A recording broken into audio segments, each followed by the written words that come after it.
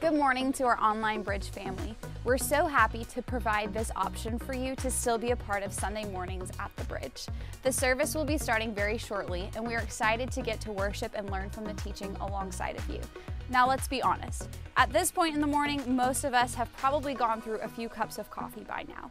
In the comments section, type out what your go to coffee order is. No shame if you like to load that thing up with cream and sugar.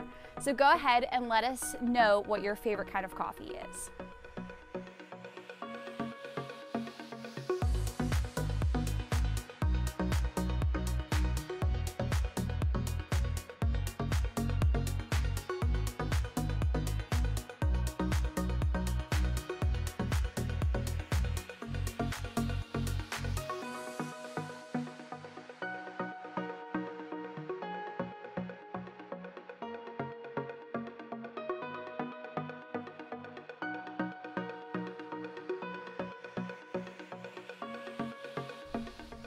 If you haven't already, click the share button beneath this video. Sharing the live stream on Facebook is the easiest way to invite your friends to church and help them hear about the bridge.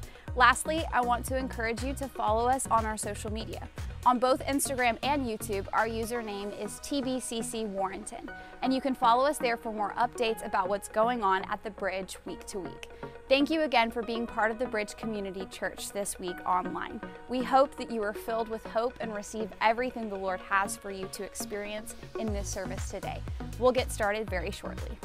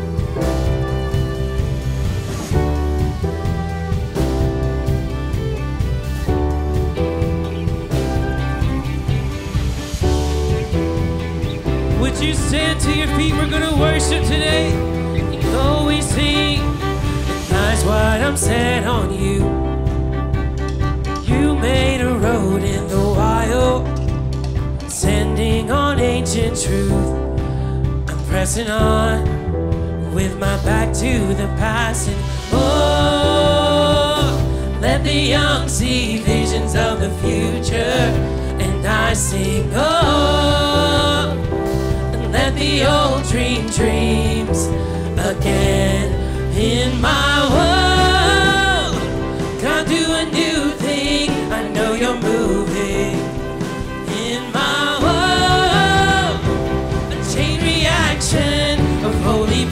I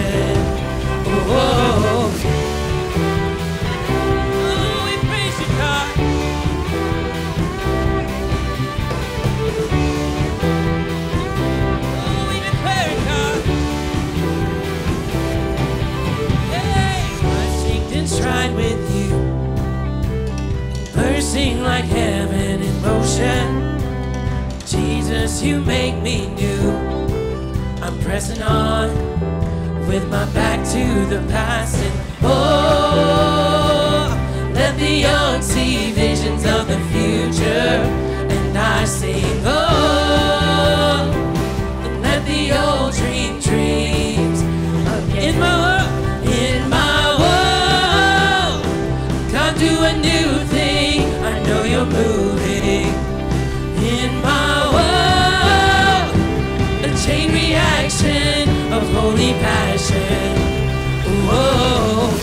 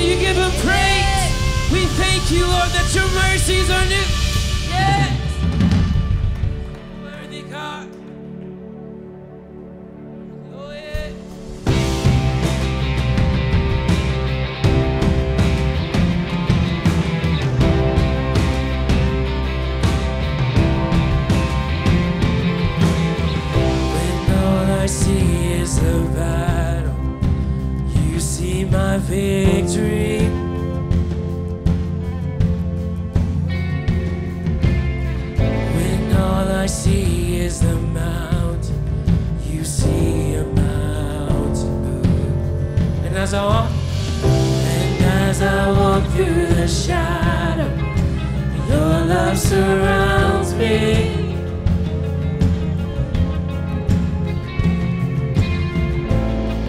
There's nothing to fear now, for I am safe.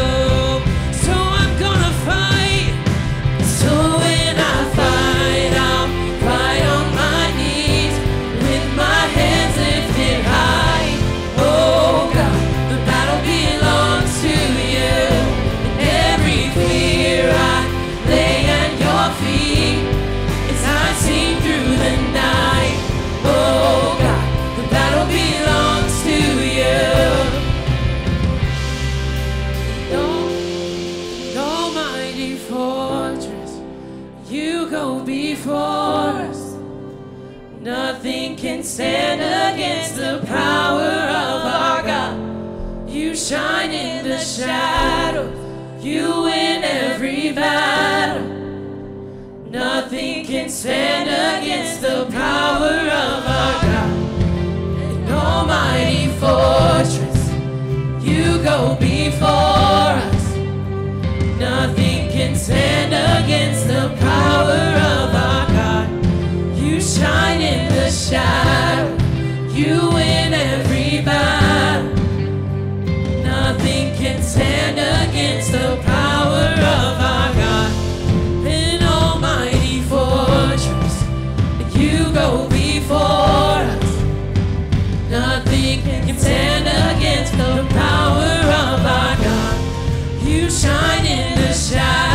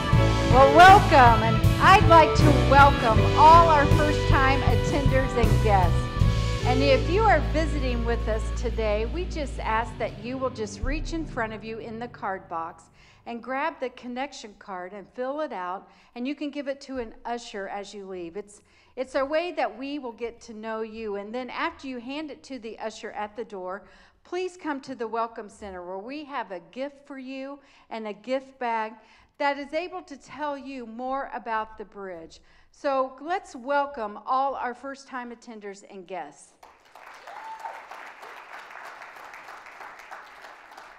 If you are visiting with us or you've been coming to the bridge for quite some time, we offer a connection group called Growth Track. It meets on Sunday afternoons at 3:30 by Zoom. So just email me, Pastor Lisa at bridgeforlife.com, and then that way I'll send you the Zoom link so that you can join in Growth Track. At this time, I'd like to transfer though to um, receiving the offering. And we always like to read a scripture because it's part of worship, how we take the offering and how we give to the Lord. It's part of our worship to Him. And we have different ways for you to give. You can give at the kiosk, out in the lobby, at the door, at the usher, um, with one of the ushers, but also you can give through the mail. So, would you read this scripture with me, please? It's Acts 20, verse 35. In everything I did, I showed you that by this kind of hard work, we must help the weak, remembering the words the Lord Jesus himself said It is more blessed to give than to receive. Let's pray. Father God, I thank you so much for who you are. And Lord, that you give us the opportunity to give back to you a portion of what you give to us. Lord, I pray that you bless our tithes and offerings. In the name of Jesus, we pray. Amen. Amen. At this time, turn your attention to the screen for the mo- morning announcements.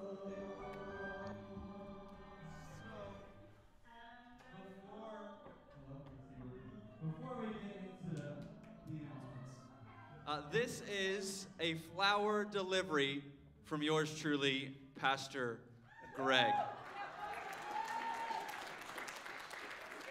Now, you can too get your loved one some flowers from the Vertical Student Ministry. Okay, so basically, what you're going to do is you are going to sign up in the lobby or email me at Pastor Austin at bridgeforlife.com, and we can too send flowers to your loved one this Friday. After we deliver those flowers, we have a special night planned. You can do a candlelight dinner. Uh, so it's $60 for the flowers, $60 for the dinner. But you can combine them both for just $100. If you have any questions, just email me, uh, sign up in the lobby, and we will get you set up. But yeah, turn your attention to the screen for today's announcements now.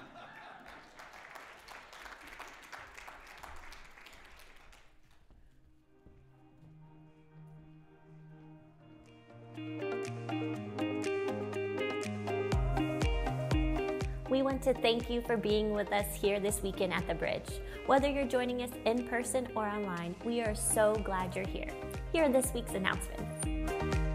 Bridge Church members, two Sundays from now, February 21st, will be our annual church business meeting. The meeting will be held here at the Ministry Center in the sanctuary and start right after the 10:45 a.m. service. We'll see you there.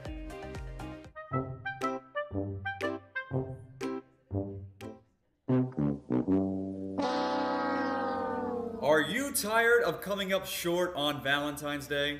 Well, the Vertical Youth has you covered for the low price of $60. A dozen roses will be delivered to your address of choice on Friday, February 12th. And to top this fundraiser off, for another $60, there will be a romantic candlelight dinner here at the Ministry Center for you and your loved ones. But wait, there's more. If you choose to bundle, we'll slash the cost to just $100. That's the rose delivery and the candlelight dinner for just $100. Don't miss this opportunity to help the Vertical Youth raise funds for this year's ministry events. Sign up in the lobby, email me at PastorAustin at bridgeforlife.com to reserve your table and flowers.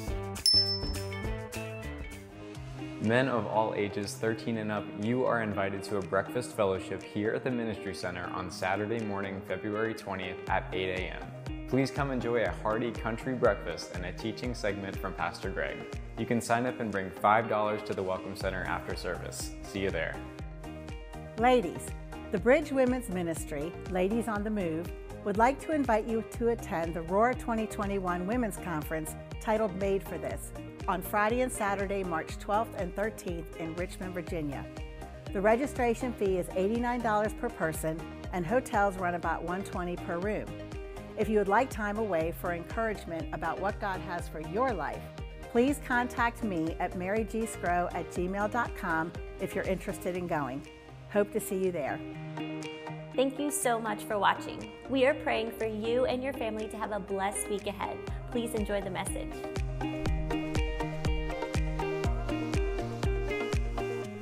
We have some pretty creative people here, don't we?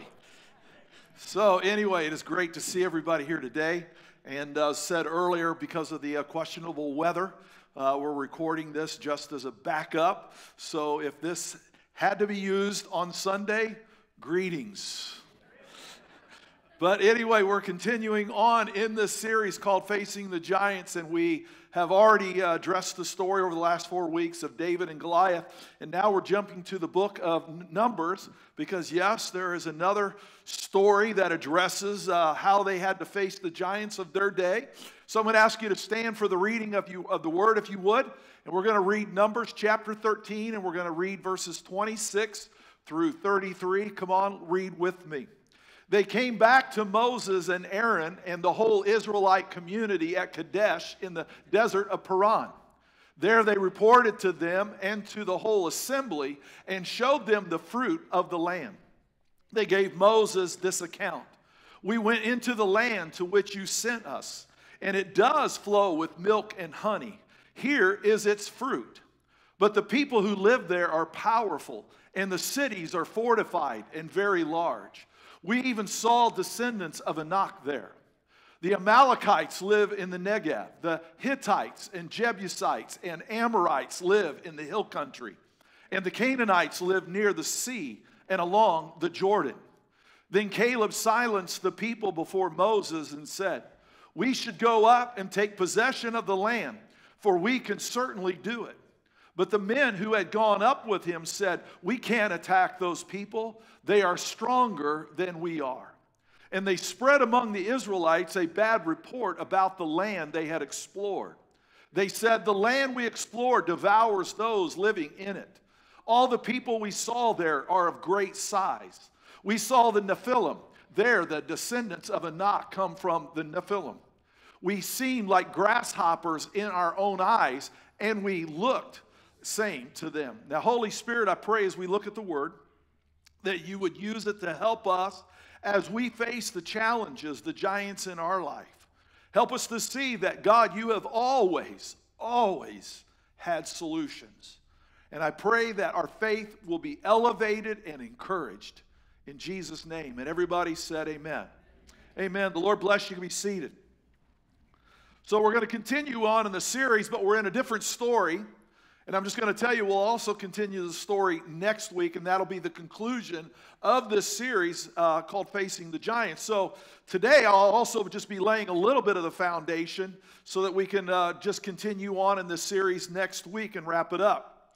But let me kind of give you some background. If you probably know this. I love to get into the history of things, and one of the reasons I like history is this when you understand the historical context of what's being said, it avoid, it, it's a protection from getting into the weeds and distorting things from what was really intended. And if you've ever had somebody who's tried to uh, quote you and they took the sentence out of context, it's frustrating, isn't it? You go, yeah, but you took a sentence and that was put in a paragraph. And if you would put everything that I said before that sentence and afterwards, that would become a lot more clear to you. But you're taking out of context what I said. Right? And so it's the same way. So let me just kind of set this up. Maybe you've never thought of the Bible in a chronological order, so I'm going to give you a little bit because I think it helps. We estimate that the Israelites left Egypt, the Passover where they got delivered, we estimate that was around April 1446 BC. And now we come to the book of Numbers, this journey from Egypt to where they're at. It's now, they, they are now about 16 months now ahead in the, in the calendar. And so this means this they are now, it's approximately August 1445 BC, and they are in position to cross over in the, into that promised land. So it's been a 16 month journey from Egypt to this precipice of where they're at. And let me just tell you, uh, 16 months may not seem like a long time until you've gone through COVID. right? And the other part of it is that's a long time when you consider they were walking through the desert the entire time. That's a that's a long serious that's a long serious walk. I would challenge you to go on a 16 month hike, okay? So anyway, they're on this precipice and they're ready to go in. And after uh, scouting out the promised land, the Israelites uh, trust in God falters because they see giants. As, as a result, God keeps them in the wilderness for another 40 years until another generation is raised up that believes his promises. So, this is where they go in, they come out, they hear the report, and they go, Yeah, this ain't going to work. And God says, That's it. You think 16 months is long, go for a 40 year hike. And I'm going to get some people who will actually believe what I said to them that they actually believe. So I'll just raise up another generation. And so that's what God does. However, there are two people, Joshua and Caleb. And I'm going to be talking about one of those uh, uh, characters there next week to kind of give this a wrap up on the story. But uh, two people maintain their trust in God and he promises, meaning God, that they will live to possess the promised land. Now, isn't that ironic? Because we all know that when they did go into the promised land, it wasn't Moses, it was Joshua the leader, correct? But there's also the story of Caleb, and we're going to be looking, like I said, at this a little further next week. So let me just kind of uh, describe what the problem was. You, we read this uh, phrase and we heard this term called the Nephilim. Now, I promise you that's not a word that you hear on Main Street or where you work. I promise you that's probably never come up around the dinner table. And so the word Nephilim actually means giants or tall people. Okay, that's the actual, what the word actually means. We also heard this uh, phrase called they come from Anak. Okay, and it's important to understand they said descendants of Anak. This is this that was the tribe of giant people. So everybody understand that Anak is the tribe. Come on, let's act like you're getting it right. Okay? And the Nephilim are the members of that tribe, the descendants of that tribe, okay? And so there, there were these giants. And by the way, that's where Goliath and his brothers and some of the others and the, and the Philistines who were large people, that's where they came from. But anyway, so as we get into this a little further, the reason the Bible mentions this is this because giants, their greatest weapon of a the greatest weapon that a giant has is fear. Just by being there in size and looking down on you, the giant is counting on a spirit of fear, a spirit of intimidation. That even before there's any type of conflict, that you already start to feel this is not going to go well. And it worked with the Israelites on the story we looked at with David and Goliath. He's out there 40 days, 40 nights. Okay? And we don't read that anybody had ever seen Goliath in battle. But they had to assume by the fact that he was the way he was dressed and the fact that he was, and that the Philistine nation had such confidence and sent him out there, they're just like, man, I, who do we go to send? Who are we going to send? And so obviously David is the one who goes out. So here's this. We're going to be looking at this context of fear tonight. And then we're going to be looking at it from a different angle, uh, from our more of a deliberate, uh, what I would say, expression of faith next week. So tonight uh, we're going to be looking at this context of fear. Why is this important? Because this story is loaded with fear. And fear has a debilitating effect on every dimension of our life. Fear just doesn't affect one dimension. Fear is like a cancer, it just has a way of sucking the life out of everything. And it paralyzes you. And now, let me just say this there are some times we should be fearful, right? You come home and your front door is ajar. And there's splinters where the bolt, deadbolt used to be. You know, I wouldn't tell you just to walk in, act like nothing's wrong there. How many know it would pay to have a little fear and a little caution and a little good judgment? Okay? So I'm not going to say that. But we just have to recognize what unhealthy fear can do to us and how it paralyzes and can debilitate us. And we're going to look at it in the story. So, point number one everybody read it out loud. Come on, read it. Fear changes our perception of reality and God's activity. Another way of saying this is this fear messes with your brain, and when you mess with a person's brain, you mess with what they see. Now, notice this. We're going to look at this. Numbers chapter 13, verses 26 through 20. And by the way, these people have been crying out for 400 years God, get us out of Egypt. God takes them in 16 months to the right to the precipice of everything they've ever heard and ever wanted, and they're there. And watch what happens. They came back to Moses and Aaron and the whole Israelite community at Kadesh in the desert of Paran. There they reported to them and to the whole assembly and showed them the fruit of the land or the land. Do you see that? So they actually brought the evidence to back up the stories that they've been told. It says, They gave Moses this account. We went into the land to which you sent us, and it does flow with milk and honey. Notice the exclamation point. So they're right now, they're in testimony mode. Right? If you put an exclamation, that's not a conversation, that's a yell, right? Here it is. Here is the fruit.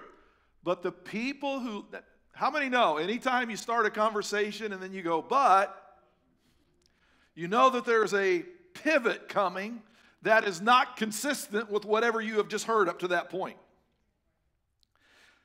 It's like a kid.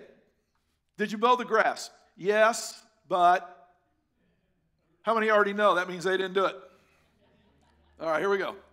But the people who live there are powerful, and the cities are fortified and very large. Look at this. We even saw descendants of Anak there. The Amalekites live in the Negev, the Hittites, the Jebusites. By the way, the Jebusites were the ones who controlled Jerusalem and they didn't get control of Jerusalem until David became king. I'd mentioned that before. And they were phenomenal warriors. They were not lightweights, okay? And the Amorites live in the hill country, and the Canaanites live near the sea and along the Jordan. But, and then it goes on in verse 31 But the men who had gone up with him said, meaning talking about Caleb, we can't attack those people, they're stronger than we are. So they acknowledge their, what is there is what they had heard, and now they find the reasoning why not to do it. Now, let's just rehearse this. So, what are you going to do after 16 months? And you decide you're not going to complete the journey. We're going to get into that in a little bit. But you're kind of like, and what, what, what is plan B? Plan A all along has been we're going. So now you guys are saying we're not going. Plan B is what? Uh, that's what I'm talking about. Fear has a way of making nowhere the vision. But actually, they did have a plan, and I'm going to show you that in a little bit. It's in chapter 14. But I think it was more of a last ditch effort because they, I think they may have dug themselves a hole and they had to hurry up and come up with where, so if we're not going this way, where are we going? Because we estimate that there was at least two to three million people. Okay? That's not, oh, we went down the wrong cul de sac, let's turn around. Two to, we estimate two to three million people. You just don't go, oh, gee, we took a wrong turn. You know, we got to that, that takes a lot of effort to say and to coordinate here's where we're going and here's where here's how we're doing it, okay? So fear has a way of messing with our reality and even God's activity. They acknowledge that what God had said was true, but fear caused them to doubt something that God confirmed to them. Get it? God confirmed it, right? and they doubt it. What causes a person to go, yeah, God came through, but fear? Fear will cause you to start seeing and believing things about God that not intended. So let's look at this a little further. I'm going to unpack this. I got three, I got three points under point one. This is a preacher's dream right now. So let's look at this fear a little bit, that how it distorts and it messes with our reality and our understanding of reality and how it messes with God's activity. First of all, it begins this way fear facilitates loose talk. You start embellishing. You start getting into the fringes and the gray area. Look at in chapter or chapter 13, verses 32 through 33. So they've already told Moses the report. They've already given the report, right? So, okay, is that good enough? No. And they spread among the Israelites a bad report about the land they had explored. Now, wait a minute. You all said and you brought evidence that this is good and that it was flowing with milk and honey. And I remember when we wrote it out, we put an exclamation point because you were excited. So he goes on to say, a bad report about the land. They said, the land we explored devours those living in it. All the people we saw there of great size, we saw the Nephilim there, the descendants of Anak come from the Nephilim. Now, notice this loose talk. We seemed like grasshoppers in our own eyes. Whoa! Notice how fear will change your self image. Fear will make you feel insecure. Fear will cause you to shut down the blessings of who you are and what you have and the resource and the abilities. Fear will talk you out of yourself. We seem like grasshoppers in our own eyes. And we look the same to them. Wow. Fear had caused them to see themselves in a way that they thought, no, they thought the giant seen them. loose talk. You know, getting into the fringes, getting into the weeds. Not significant embellishment, but there's a little bit of embellishment because you just feel like you need to make your case stronger. And after all, who's going to actually walk into the land to confirm the story that they just told? So, you know, they kind of have the ability to be a little embellishing and not have to worry about anybody checking the facts out. So, loose talk contributes to fear. The second thing is fear facilitates loose emotions. The whole idea of fear is to get you to come unraveled, man. It's if you get if you get a person loose talking, then the emotions are going to start going. And you look at this in verses 1 and 2 of chapter 14. That night, all the now, I am not going to embellish this, but we read it and we fail to understand what they're actually doing. So I'm going to pause. That night, all the members of the community raised their voices and wept aloud.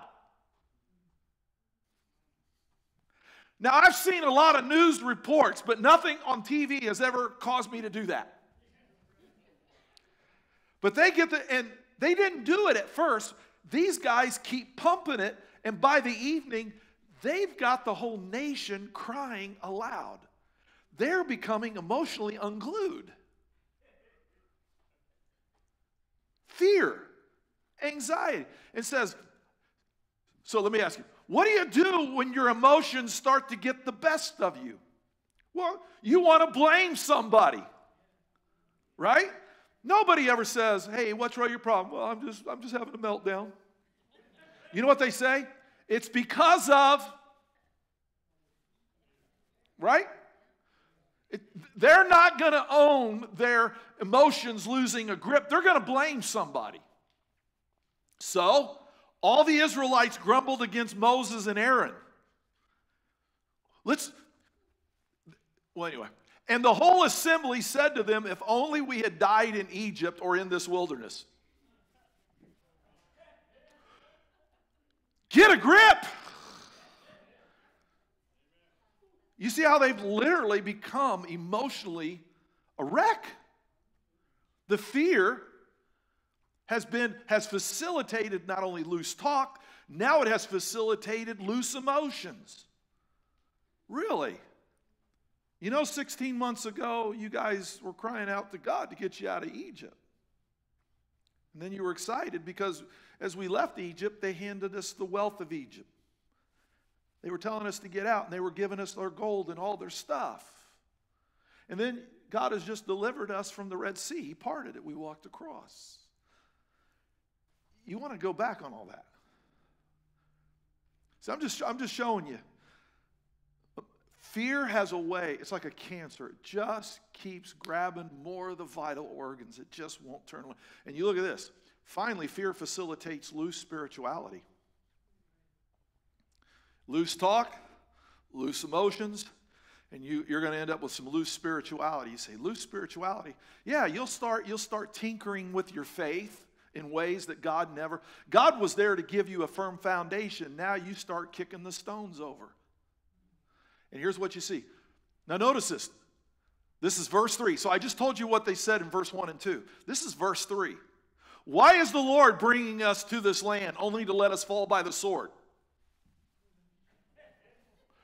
Wow, now where how did we how did we get now so now it's Moses and Aaron's fault and now now it's even God's fault. Our wives and children will be taken as plunder. Wouldn't it be better for us to go back to Egypt?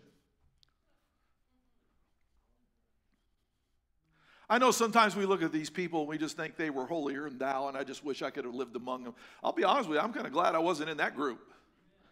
I mean, I, have seen people lose their grip. You know, pers- I've never been where a whole group, the entire group, lost their grip and was blaming leadership and was blaming God. The very one who's brought them there, and listen, the very one they need. Now they've turned on the very one they need God. They're accusing God of bringing them out there to let them die by the sword. That's what I say fear will just keep eating away piece by piece, taking your mind, taking your heart, your soul. It'll just keep eating and it will distort things around you. Things that are good for you, you'll think are bad. A God who's there to love you, you'll say he's there to kill you. you, you fear will just take you on a ride that you don't want to go on. And you, in fact, in times past, you would have said, you would have swore, I'll never go there. And there you are today. Number two, read it out loud. Fear. Wow. Pastor, I disagree with that. Well, then I'll read the Bible and then you can just take it up with God. Okay. fear is the root of rebellion. So once fear can get you your spirituality and begin to loosen it up. Joshua, this is in verses 6 and 7 and verse 9 of Numbers 14. Listen, Joshua, son of Nun, and Caleb, son of Jephunneh, were among those who had explored the land, tore their clothes, and said to the entire assembly. And I've took a little bit of it out, and I'm skipping now to verse 9 because I want you to see the last half of what they had to say. Listen, they tore their clothes because they realized what was going on. Oh man, you people do not want to go there. Stop. Notice this. Only, hey, why don't you read that phrase with me? Only do not, only do not rebel against the Lord. Their fear has now taken them to the precipice, it will be called rebellion. If you would have said to them, Do you have any plans to rebel against God? Absolutely not. But the enemy knows how to put breadcrumbs. And you chase the breadcrumbs, and by the time you're done chasing those breadcrumbs and you look up, you are where you swore you would never be. He'll track you right into that position. And it goes on. And it says, And do not be afraid of the people of the land because we will devour them. The, their protection is gone but the Lord is with us. Do not be afraid of them. So they're saying, this is more than just you're coming on. Guys, this is turning into rebellion. You're using your fear as an excuse not to obey. say, well, shame on them. Hey, Christians do it all the time. You bring up something in the Word, Bible says we ought to pray. Yeah, well, you know, I've thought about that. And I'm just not quite there. Oh, so you're aware you need to do it. Yeah. You've processed it. Yeah. But you're just not quite there. Right. You know, when my kids tell me that, I call it rebellion. Let me get this right. You knew what I wanted, yeah. You knew what I wanted it done, yeah. But you just didn't feel like it right now. Yep. You're grounded. It's amazing the self talk that we'll give ourselves and think, that works. Does it? At some point, fear becomes rebellion. Even, hey, how many know faith means you go first? For some of you, that was a revelation right now, wasn't it? Faith means I know what he said, I don't know how this is going to work, but I trust him. Faith means I go first. Number three, read it out loud. Faith leads to, yeah, I'm going to make you read it. Say it again. Fear leads Fear leads to unhealthy assessments of others. So, like I said, fear has a way of lashing out at people and wanting to do things to people that should not have it done to them. But because we're afraid, even when they try to present them, we'll be, we're scared, so we're just going to lash out. Fear, because of loose emotions, can cause us to take expression towards people who are there to bless us and help us, but the fear makes us distort who they are and we turn on them.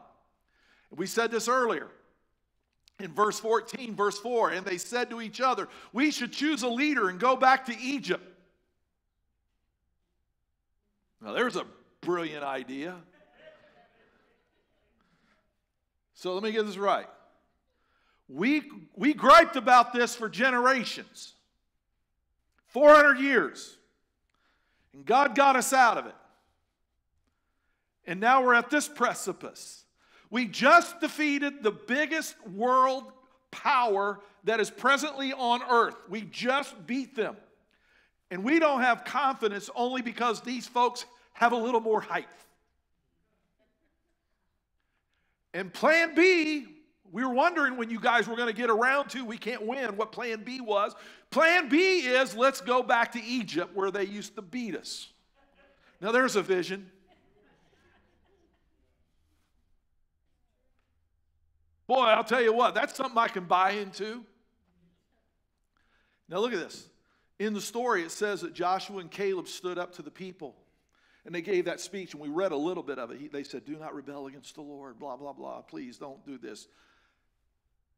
Look at what they did to Joshua and Caleb. But the whole assembly talked about stoning them.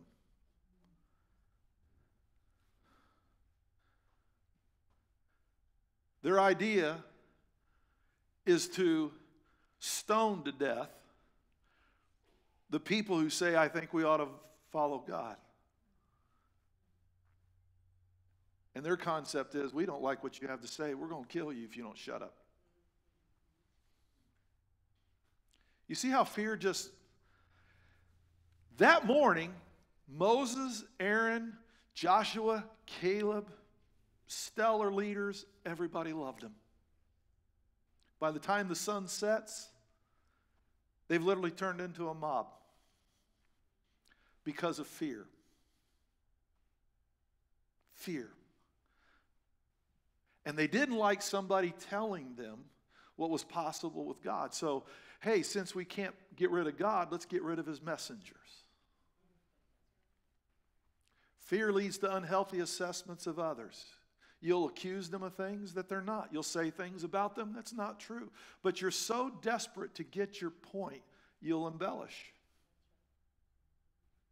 because it's important for, listen to me, it's important that you win.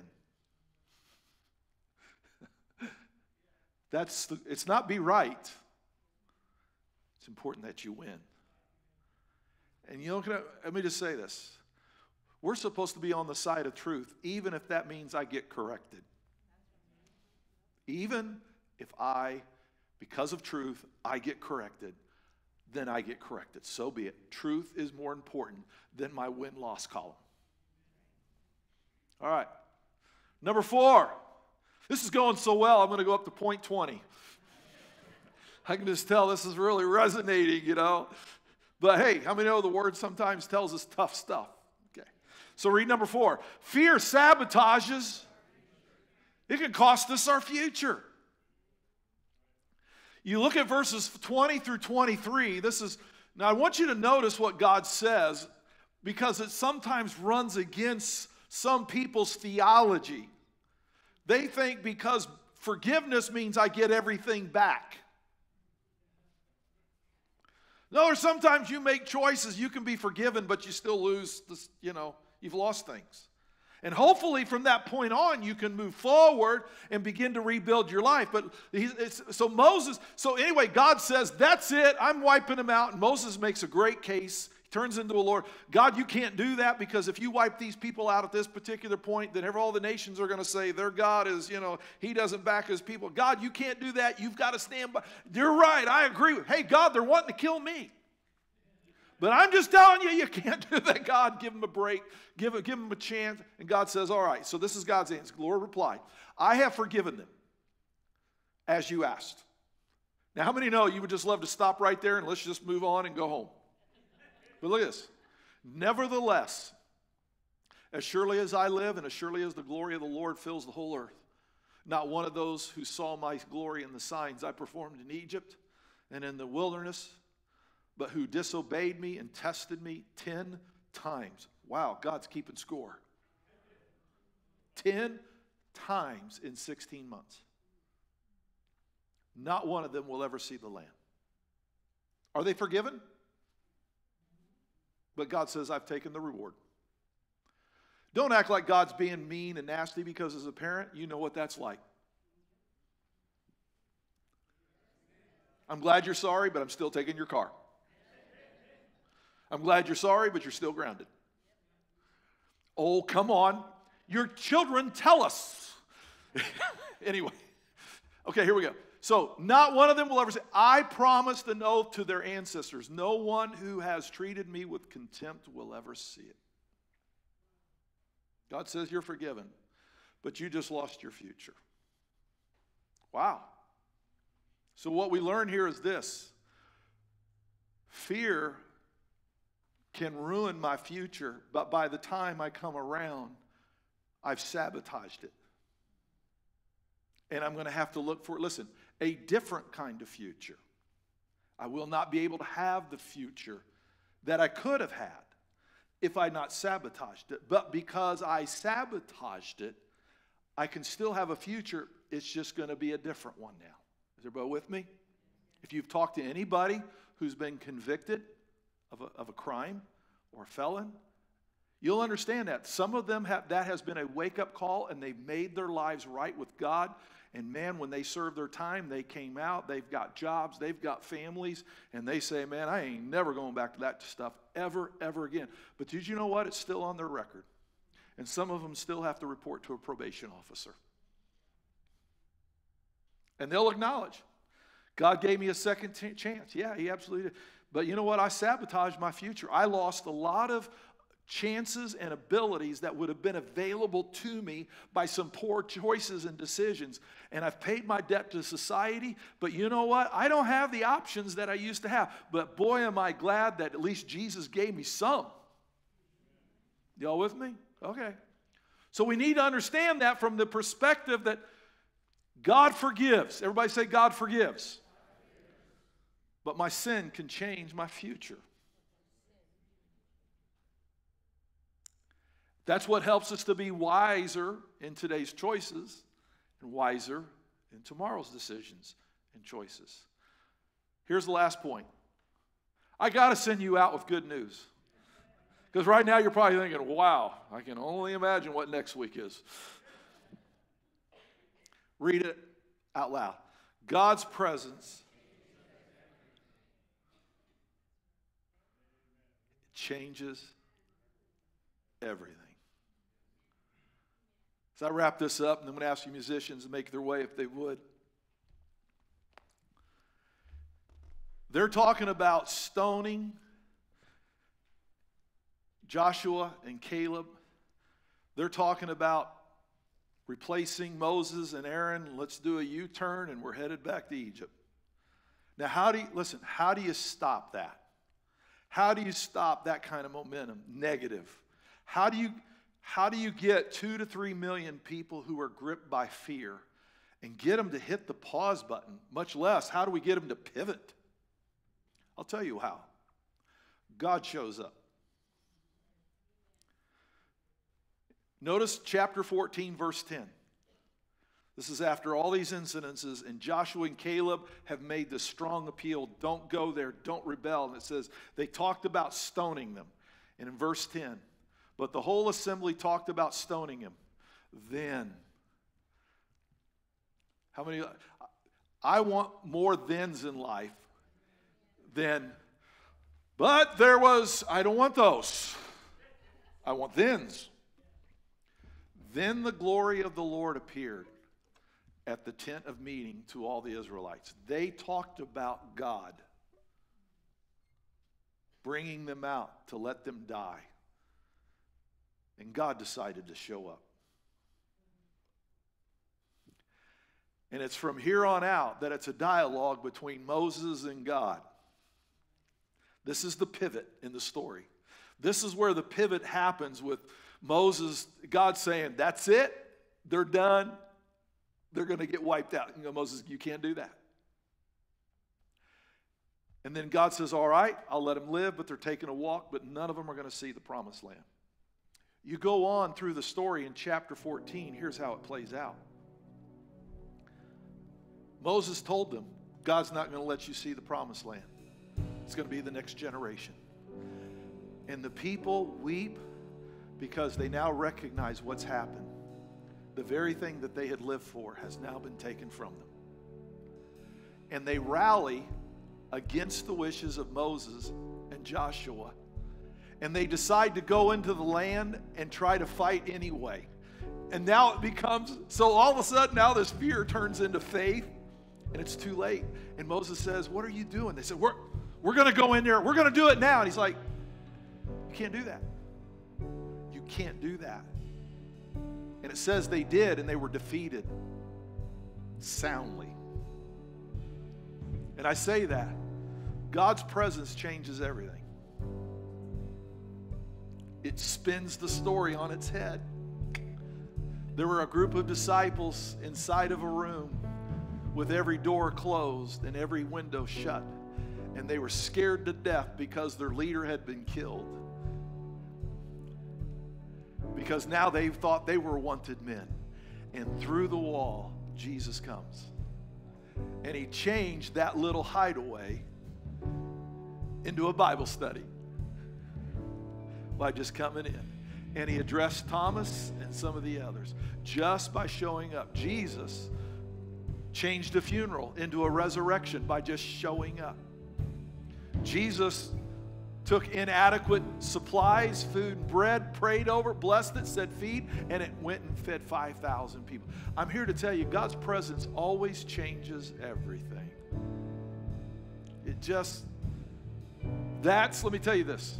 We are people of presence. We don't just talk about God, we believe He shows up when we gather and when we talk, that He's in our midst and when we pray for each other.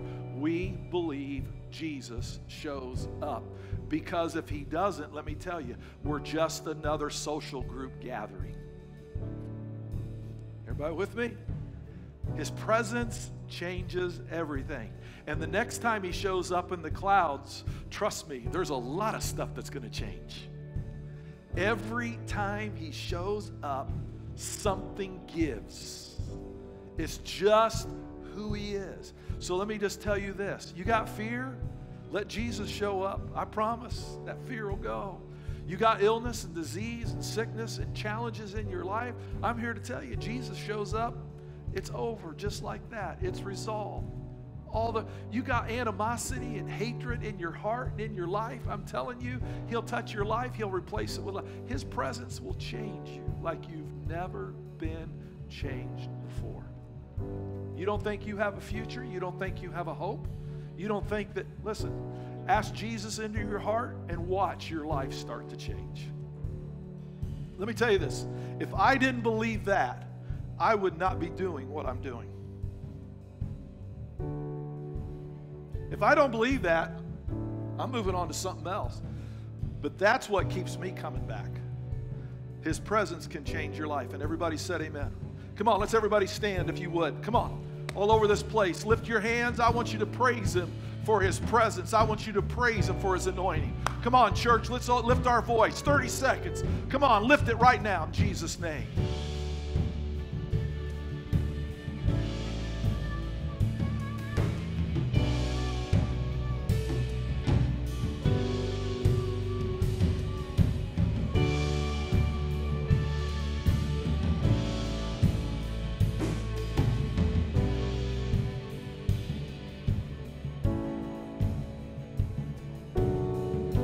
With everybody's head bowed this evening, I'm going to ask that no one look around, but you'd say, hey, Pastor, I need to accept Jesus as my Lord and Savior.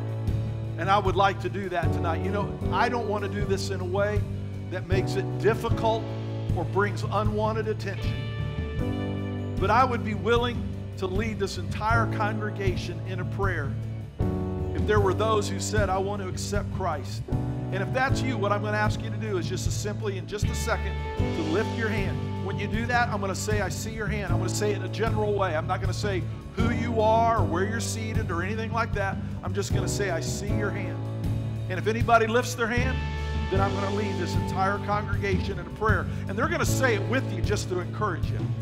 So you say, hey, I'm going to be asking Christ into my life. Can I see your hand today? Anywhere across this building? That hand says you're going to be accepting Christ. Anywhere? Then the second thing is this I know that we have so many protocols that we have to honor. But let me ask you this How many of you are facing something that you could use the presence of Jesus to help you face that challenge, face that giant in your life? Can I see your hand? Come on. Here's what I'm going to do. Hold it. I'm going to ask you to leave it up. Would you do that? Leave it up. I'm going to ask everybody else, would you just turn around? And if you see a hand, I just want you to turn towards them and extend your hand. I know you can't go over there, okay? But would you turn towards somebody and would you pray for them from the distance? You see their hand up, you know what it is? Pray. Come on. I'm going to ask us to do that for like 90 seconds. Come on. Everybody pray out loud. Come on. Lift your voices now. Come on.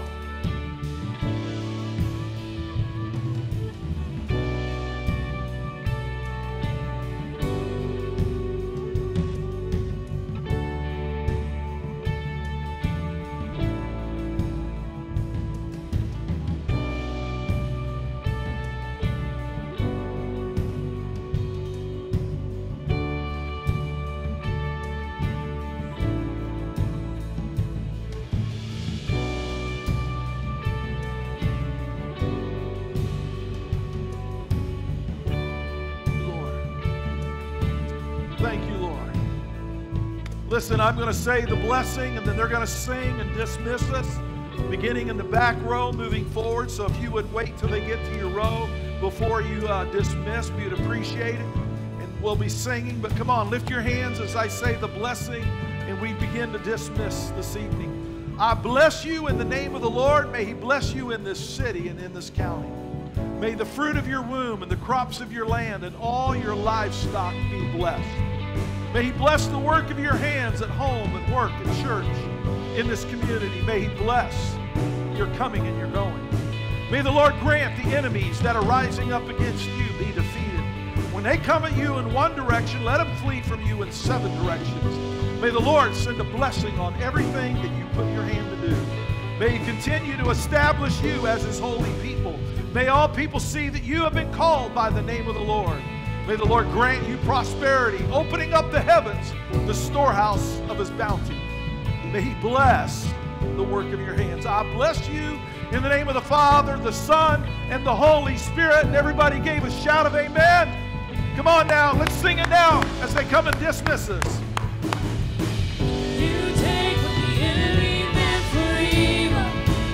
turn it for good. You turn it for